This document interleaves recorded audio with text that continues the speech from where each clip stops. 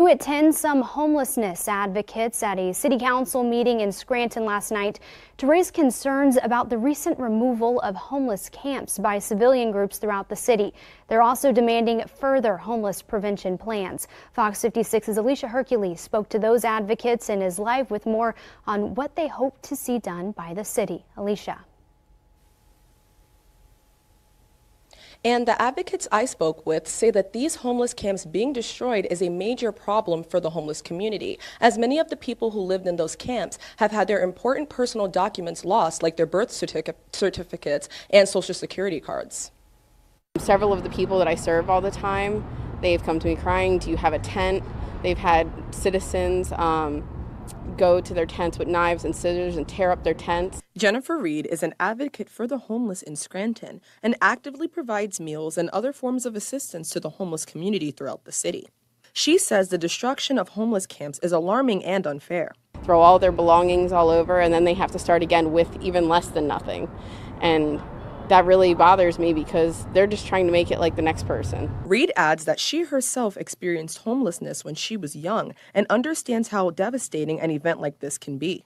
Aaron Lee, a currently homeless resident in Scranton, claims city employees, along with civilian cleanup groups, have participated in removing homeless camps, further trapping the homeless in a cycle of poverty by cutting them up, destroying their own personal belongings, which is social security cards, birth certificates, and all their belongings, which will make them a stable person in society. In a statement given exclusively to Fox 56, the city of Scranton says, quote, "The city has been made aware of some citizen organized cleanup efforts that have occurred at various sites recently. These are not city supported efforts.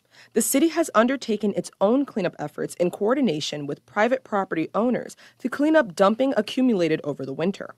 Before removal, these areas are reviewed by both the Scranton Police Department and the Department of Public Works to make sure that the items are garbage and not personal possessions. End quote.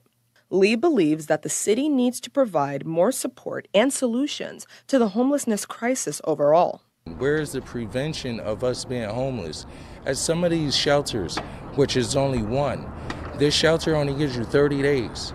After your 30 days, you are welcome into being homeless. Reed and Lee say they will continue to attend city council meetings until the city provides a clear solution to the homelessness crisis. Reporting live, I'm Alicia Hercules with Fox 56 News, first to 10.